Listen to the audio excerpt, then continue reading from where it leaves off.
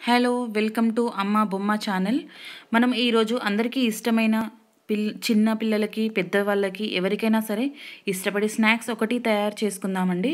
చాలా ఈజీగా త్వరగా అయ్యే స్నాక్స్ అండి.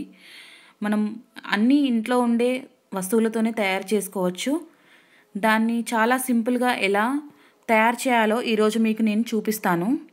మొదటగా దానికి కావలసిన పదార్థాలు చూద్దాం. ఆనియన్ ఒక కప్పు సన్నగా తురుము పెట్టుకోవాలి. కొత్తిమీర సన్నగా కట్ చేసుకొని పెట్టుకోవాలి. ఒక గంట సేపు నానబెట్టిన శనగపప్పు స్ప్రింగ్ ఆనియన్ ఆయిల్ కారం ఒక స్పూన్ ఉప్పు ఒక స్పూన్ జీలకర్ర ఒక స్పూన్ వెల్లుల్లి ముద్ద ఒక స్పూన్ ఒక గ్లాస్ బియ్యం పిండి నువ్వులు టూ స్పూన్స్. ఇప్పుడు ఒక గిన్నె తీసుకొని వెడల్పాటి గిన్నె తీసుకొని అందులో మనం ఒక గ్లాస్ బియ్యం పిండిని వేయాలి. ఆ బియ్యం పిండిని వేశాక మనం ఆల్రెడీ తీసి పెట్టుకున్న వస్తువుల్లో ఉప్పు కారం జీలకర్ర వెల్లుల్లి ఈ నాలుగింటిని వేసి పిండిలో వేసేయాలి.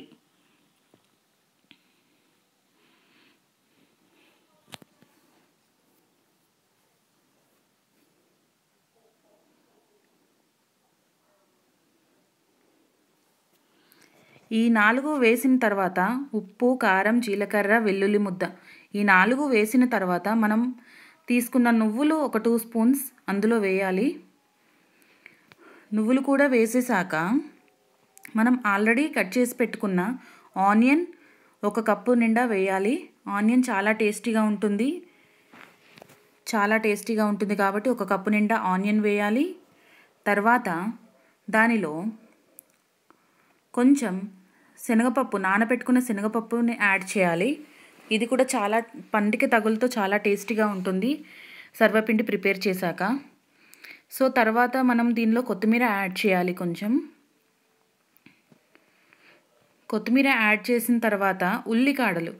ఉల్లికాడలు కూడా కొంచెం యాడ్ చేయాలి. సన్నగా కట్ చేసుకున్న ఉల్లికాడలు. ఇది ఆప్షనల్ మీకు దొరికితే వేయచ్చు దొరకపోతే ఊరుకోవచ్చు.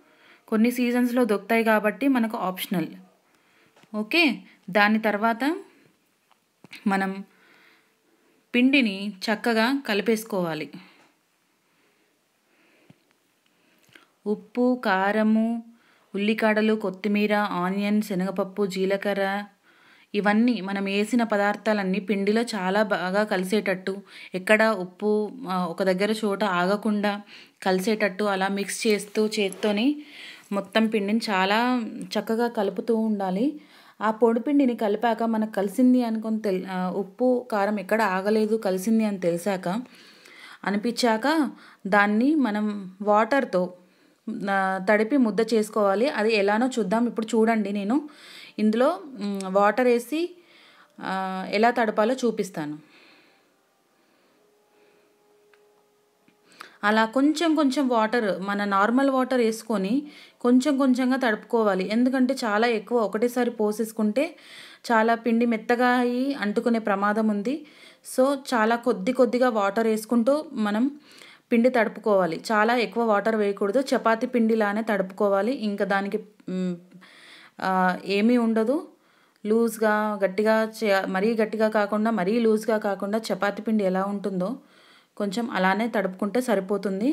చూడండి ఈ వీడియో క్లిప్లో నేను ఎంత మెత్తగా కొంచెం కొంచెం యాడ్ చేసుకుంటూ ఎంత ముద్దలాగా చేస్తానో ఆ పిండిని చూడండి. ఇలా చేస్తే సరిపోతుంది. ఈ వీడియో మీకు అర్థమవుతుంది అనుకుంటున్నాను. ఎందుకంటే నేను కొంచెం కొంచెం ప్రాసెస్ ఎలా చేయాలో చూపిస్తున్నాను తడుపుకుంటూ. చూడండి లాస్ట్కి ఇలా ముద్దలాగా అవుతుంది. నేను ఈ వీడియోలో చూపిస్తున్నాను కదా అలా ముద్దలాగా అవుతుంది అంత తడిపేశాక. తర్వాత మనం ఏం చేయాలంటే ఒక అల్యూమినియం బౌల్ని తీసుకోవాలి. అది కొంచెం థిక్గా ఉండాలి బేస్. తీసుకున్నాక అందులో త్రీ స్పూన్స్ ఆయిల్ వేసుకోవాలి. త్రీ స్పూన్స్ సరిపోతుందండి ఇంకెక్కువ ఆయిల్ అవసరం లేదు. అది కూడా లాస్ట్కి మిగిలిపోతుందండి నేను చూపిస్తాను మిగిలిన ఆయిల్ని కూడా తర్వాత. దాన్ని ఇప్పటి దానిలో కొంచెం ముద్దను తీసుకొని పిండి ముద్దను తీసుకొని ఆయిల్ పైన పెట్టేసి ప్రెస్ చేస్తూ ఉండాలి. ఆ గిన్నెలో ప్రెస్ చేస్తూ ఉండాలి. కింద చపాతీలాగా ప్రెస్ చేస్తూ ఉంటే ఆ గిన్నెకి మనకి సర్వపిండి ఒత్తుకోవడం అయిపోతుంది. చూడండి నేను ప్రెస్ చేస్తున్నా. ఎలా ప్రెస్ చేస్తున్నానో అలా చేయండి. ఇలా చూడండి ఇలా ప్రెస్ చేశాక చక్కగా ప్రెస్ అయిపోయింది. మనం ఒక పరాటా సైజులో ప్రెస్ చేసుకోవాలి. దానికి మధ్యలో హోల్స్ పెట్టాలి. హోల్స్ పెట్టడం వల్ల ఆయిల్ మధ్యలోకి వచ్చి మధ్యలో కూడా చాలా చక్కగా గోలుతుందండి అది. ఆయిల్ మనం వేసిన త్రీ స్పూన్స్ ఆయిల్తోనే గోలుతుంది. ఇంకెక్కువ ఆయిల్ అవసరం లేదండి దానికి. చూడండి ఇట్లా ఫైవ్ ఫైవ్ హోల్స్ పెట్టేసుకొని మనం ఇప్పుడు దాన్ని గ్యాస్ స్టవ్ పైన పెట్టేద్దామండి. చిన్న గ్యాస్ స్టవ్లో పెట్టేసి గ్యాస్ స్టవ్ పైన పెట్టేసి ఆ గిన్నెను మూత పెట్టేయాలండి. మూత పెట్టేసి ఒక త్రీ మినిట్స్ ఒక three minute two minutes two to three minutes మనకి కొంచెం వేడి అయ్యేసరికి ఆ గిన్నెను ఉంచేసి చూడండి అలా మనం తీస్తే పొగలు రావాలి. అలా వచ్చే వరకు మూత పెట్టేసి ఉంచాలి.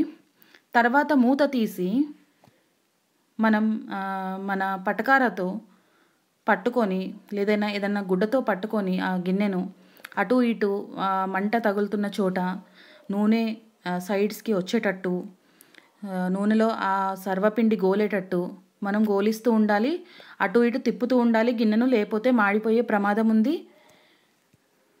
చాలా చక్కగా గోలుతుంది మనం అటు ఇటు తిప్పడం వల్ల. ఎక్కడ చూడండి సైడ్స్కి ఇలా లేస్తున్నట్టు కనిపిస్తుంది. అలా లేస్తూ ఉంటే అది సర్వపిండి గోల్ గోలింది అని అర్థము. కొంచెం బ్రౌనిష్గా మారుతుంది.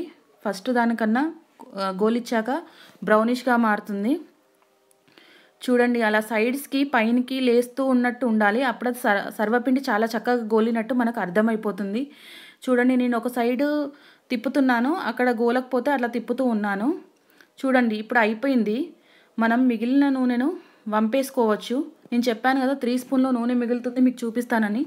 మళ్ళీ ఆల్మోస్ట్ టూ స్పూన్స్ కంటే ఎక్కువే మిగిలిందండి. చూడండి. అలా వంపేసుకోవాలి మొత్తము. అలా వంపేసుకున్నాక మన గ్యాస్ గద్దెకి గ్యాస్ స్టాప్కి మనం ఒరిగించుకోవాలి ఆ గిన్నెని సో దట్ కొంచెం ఆయిల్ కిందికి వస్తుంది. తర్వాత ఒక గ స్పూన్తోని మనం దాన్ని తీసి ప్లేట్లో పెట్టేసుకుంటే సర్వపిండి రెడీ అండి. చూడండి చాలా చక్కగా టేస్టీగా అట్రాక్టివ్గా పిజ్జా లాగుందండి. పిల్లలకి పిజ్జా అని తినిపించచ్చు ఇదే అండి సర్వపిండి. చూడండి వెనకాల కూడా చాలా చక్కగా గోలింది. అలా తిప్పుతూ ఉంటే మాడకుండా చాలా బ్రౌనిష్గా చాలా అందంగా గోలుతుందండి అది. చాలా అట్రాక్టివ్గా తయారైన సర్వపిండి రెడీ అండి. మీ పిల్లలకి కూడా తినిపించి నాకు కామెంట్స్లో పెట్టండి. లైక్ చేయండి షేర్ చేయండి సబ్స్క్రైబ్ చేయండి. Thank you.